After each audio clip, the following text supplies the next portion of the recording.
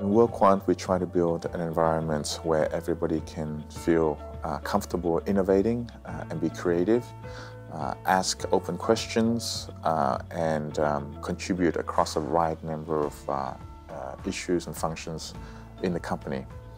Um, we want to build an environment that is fair and rewarding uh, for our employees, where they feel it's transparent and open. I also like the, the opportunity to have um, a wide range of responsibilities. Um, in WorldQuant, there is um, no particular specific um, role and responsibility for one particular person. Um, you may have some primary responsibilities, but you can always volunteer to do many other things.